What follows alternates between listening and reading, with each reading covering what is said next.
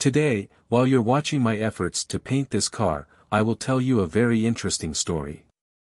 From it, you will learn the story of when and how the Opel GT defeated the Porsche 911 and 914, as well as the story of their creator, the legend in the world of motorsport, Virgilio Conrero. Virgilio Conrero was a man whose life revolved around the world of cars and motorsports. He was born in Turin, Italy, on January 1, 1918, to Caterina and Francesco. His father was a pioneering figure in the mechanical industry. Virgilio's father, Francesco, instilled in him a deep love for mechanics. Their family life was peaceful until tragedy struck. In an attempt to advance their business, Francesco installed an advanced gas turbine, a cutting-edge technology of its time, with the potential to revolutionize their operations. Tragically, the turbine exploded, leading to the destruction of the company in the loss of 13 lives, including Francesco Conrero's. At just 15 years old, he had to leave school to support his family during their darkest hours. This challenging period shaped Virgilio's character, making him intolerant of mediocrity in a perfectionist who demanded excellence from himself and those around him. His deep love for his country and his work became his guiding principles. Virgilio initially worked as a mechanic at a typographic construction company, but he found the work too simple for his ambitions. So, he enrolled in an evening course to become an aviation engineer. This journey was filled with sacrifices, but through sheer determination, he excelled in his studies and obtained his driver's license. This license opened the doors to Fiat aviation and the world of competitive racing. When World War II erupted, Virgilio naturally found himself serving in the field of aeronautics as a motorist. Despite the challenges and eventual defeat in the war, followed by an armistice, his path led him away from Fiat. Disheartened, he moved to Quincinetto in 1945 to join his family, who had settled there during the conflict. In Quincinetto, he secured a position as the chief engineer and head of vehicle maintenance at Ilsa Viola, a metallurgical industry in Valle d'Aosta. However, fate had not forgotten Virgilio. Engineer Giovanni Savonuzzi, whom he had met during his time as an aircraft engineer, re-entered his life. Together, they founded S.V.A., Società Valdostana Automobili, marking Virgilio's emergence as a renowned and respected figure, earning him the nickname Mago, Magician. This marked the beginning of Virgilio Conrero's journey into racing, with notable victories such as the Tour de France, where their company specialized in modifying and assisting Cisitalia cars driven by famous figures like Giovanni Bracco. Their first project involved creating an Formula 3 car with a self-constructed chassis powered by a 500 cubic centimeters Moto Guzzi engine. Subsequently, they embarked on numerous other projects, including a turbocharged Formula One car with alcohol and petrol engines boosted by turbochargers. This car showcased its incredible speed on the Sanremo circuit with Swiss driver Fischer, though its journey was cut short due to issues with the pistons. The SVA adventure eventually came to an end.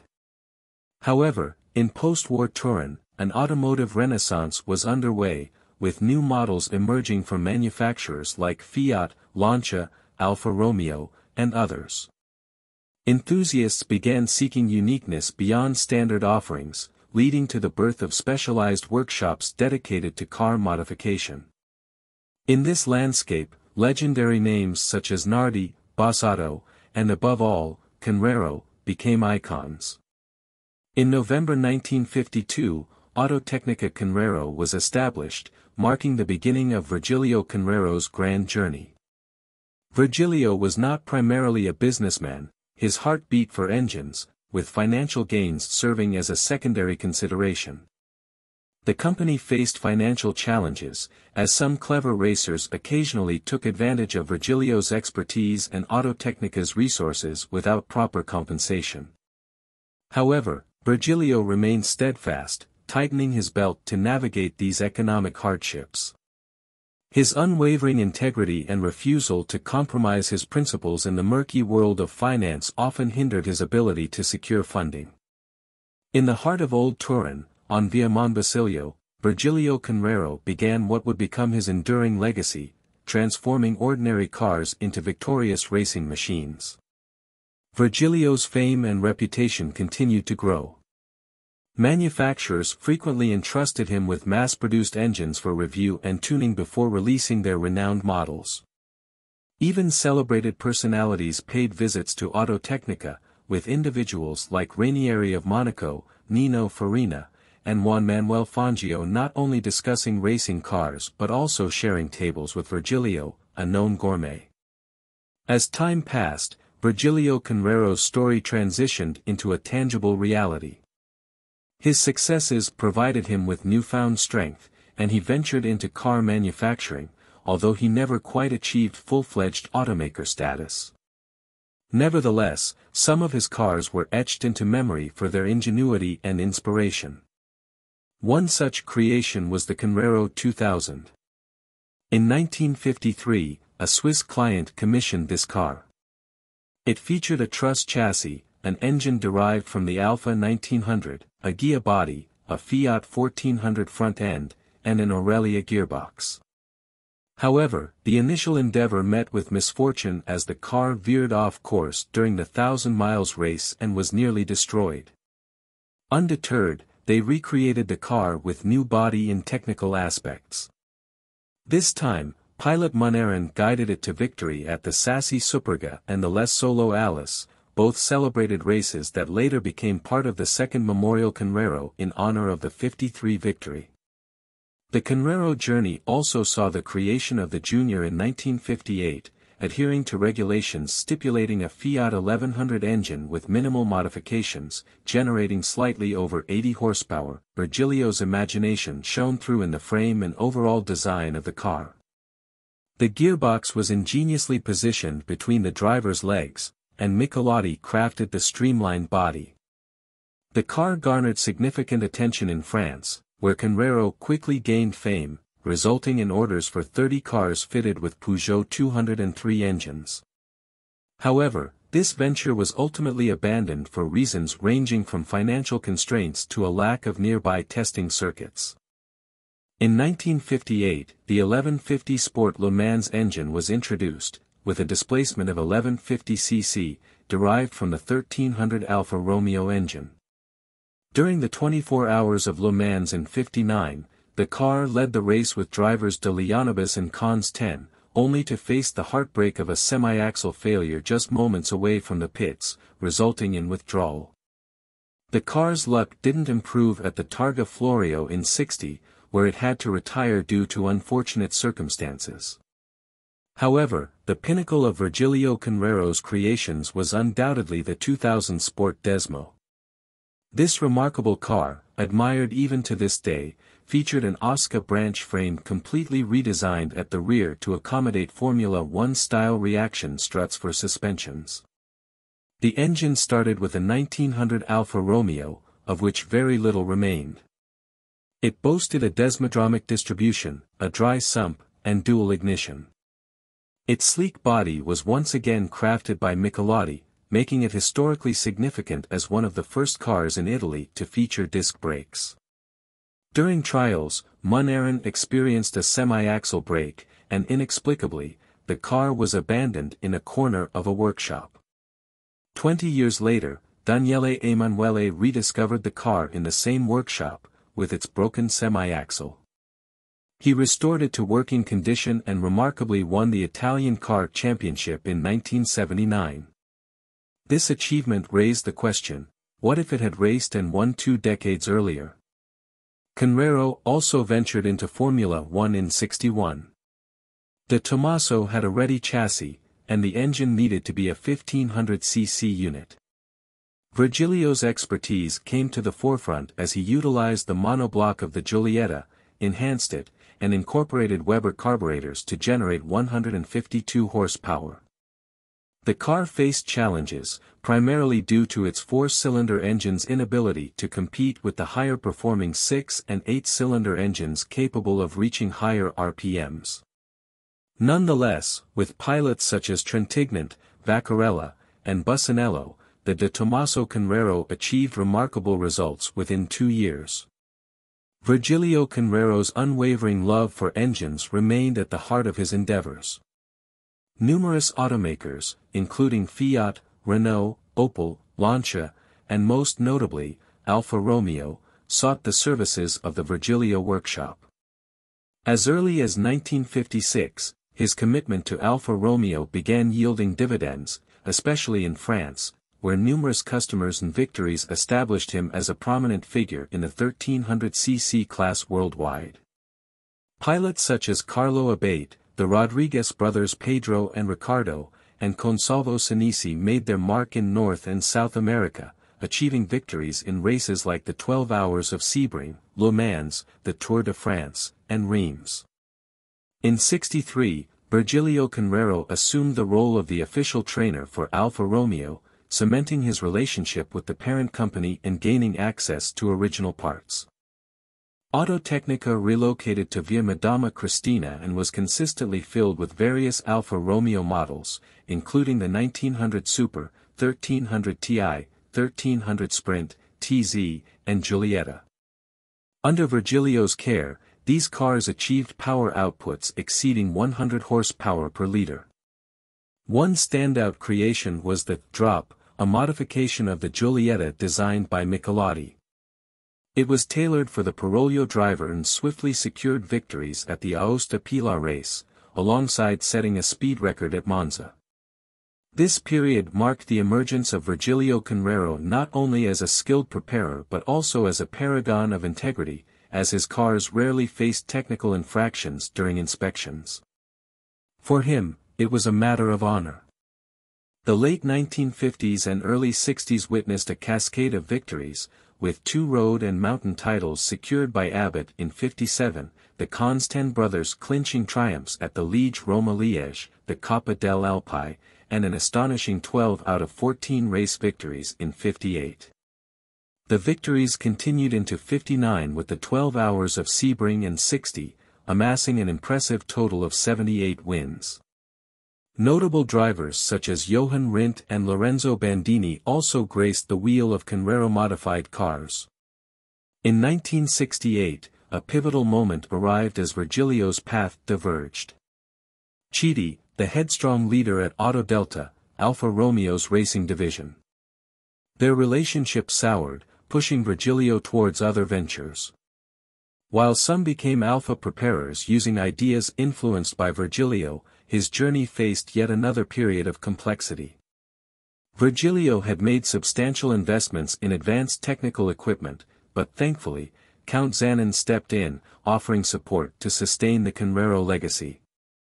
The era of the GTA, Gran Turismo Alleggerita, was ushered in, resulting in power enhancements from the original 130 horsepower to 160, 180, and 185 horsepower. The victories flowed abundantly, including a historic moment at Monza in 1970 when Autodelta's squadron, led by the much disliked Chiti, was outperformed by two smaller GTA Conrero cars. Luigi Colzani claimed victory with a lap advantage, a moment of triumph that Virgilio celebrated with a speech, humorously attributing his success to the slowness of the competition. 1970 proved to be magical, with Artiglio becoming the Swiss champion in a Renault Alpine A110, Colzani securing the Italian championship in the GTA 1300 Group 2, Luigi Cabella becoming the Italian champion in the GTA 1600, and Ramoino achieving the Italian championship in the 1300 Group 3 with an Alpine A110.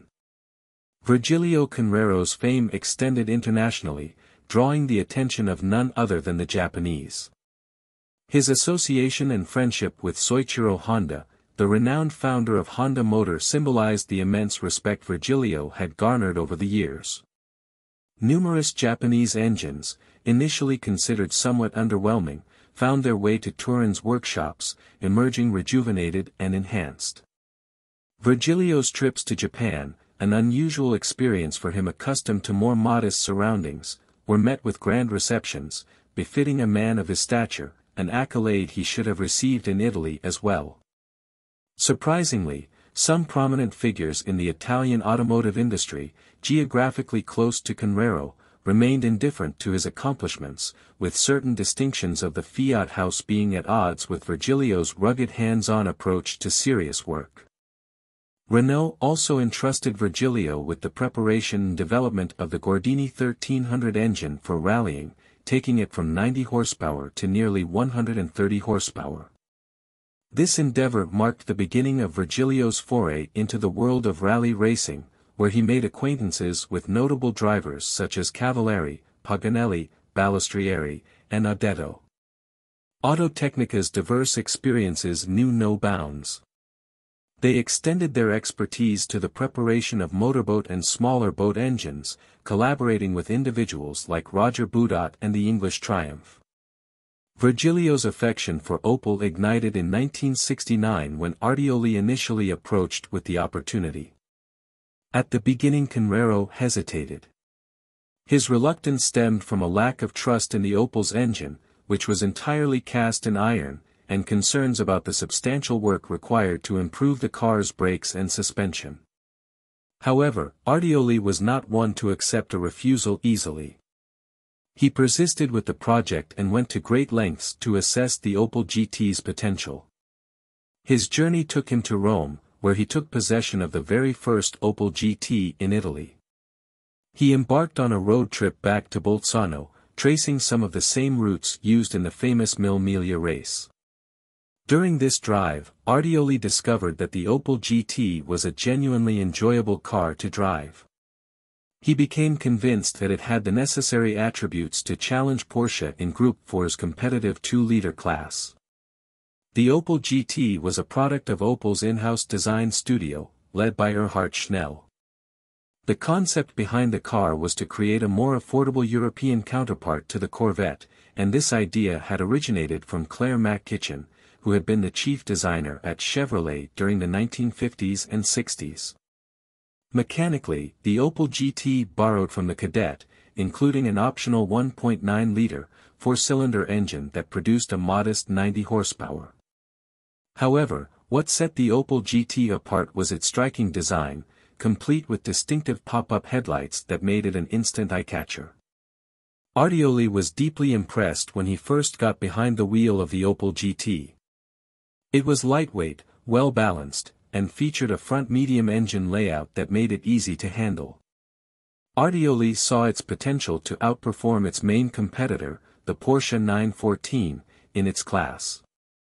Conrero's interest in the Opel GT didn't fully materialize until Opel started homologating race parts for the new Group 4 category.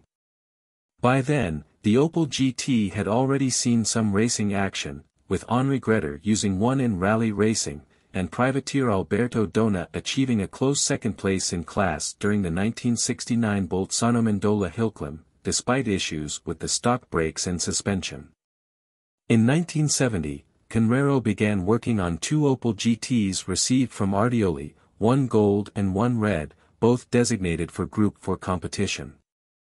The initial modifications were modest, with a 70 horsepower increase and wide wheel arches added for improved stability. DePauli drove the Gold GT to a fourth-place finish in its class despite its issues with brakes and suspension. The real breakthrough came in the 1970 Gran Premio Mugello, a challenging road race. Benedini, driving a much-improved red GT, managed to finish first in class, beating 12 Porsches, including both 911 and 914 models. This victory garnered significant attention and established the Opel GT as a serious competitor to Porsche in the eyes of the Italian press. With this newfound publicity, Ardioli secured the support needed to further develop the Opel GT, and Conrero had the resources to make substantial improvements. For the 1971 season, Conrero presented a significantly enhanced version of the GT, with the engine producing up to 190 horsepower. Ardioli and Conrero had three GTs ready for the 1971 Targa Florio, and their teamwork during practice sessions helped them achieve their best possible lap times. However, the race was not without challenges. A spinning launcher forced one of the Opel GTs to crash, leading to impromptu repairs and a white replacement nose for the damaged car. Despite these setbacks, Opel driver Salvatore Calascibetta managed to secure a narrow victory in the sub-2-liter class, defeating the Porsches and solidifying the Opel GT's reputation as a Porsche beater. Conrero was already looking ahead, discussing the possibility of equipping the Opel GT with a 5-speed gearbox for future races.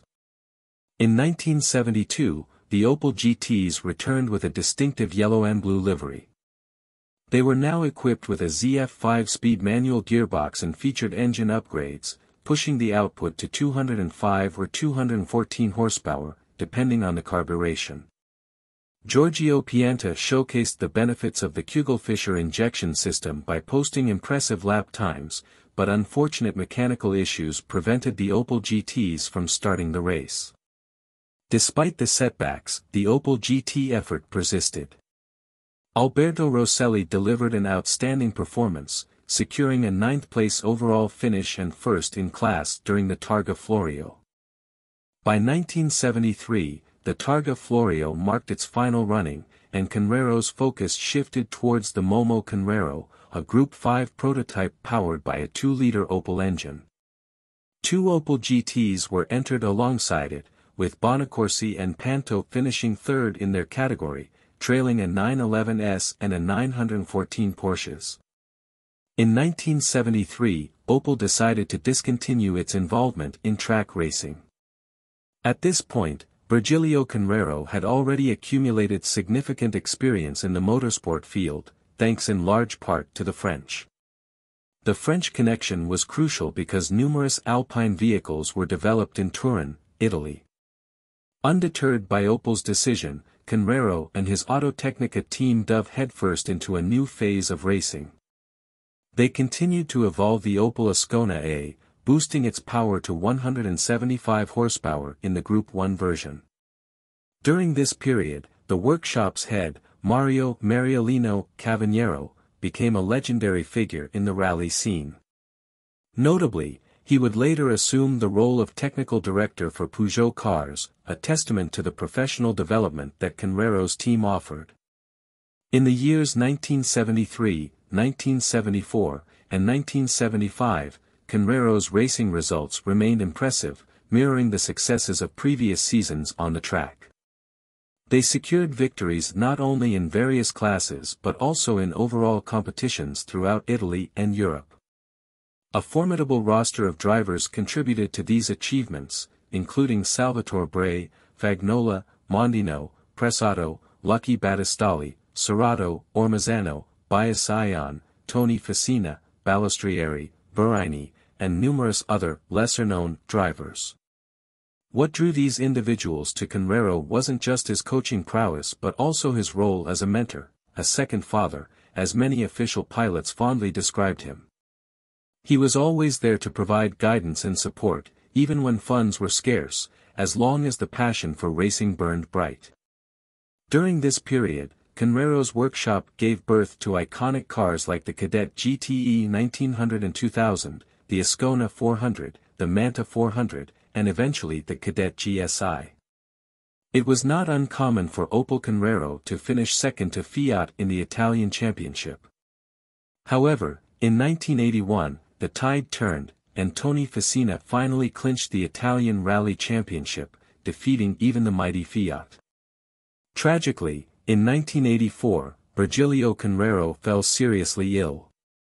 The years of relentless hard work and sacrifices began taking a toll on his health, but he soldiered on. In his final years of active involvement, he worked on Peugeot, Talbot, the Samba, and the 205 GTI. Later, he became a consultant to Lancia, the iconic Italian carmaker. Lancia trusted the white pen, as he was sometimes called, for his invaluable advice.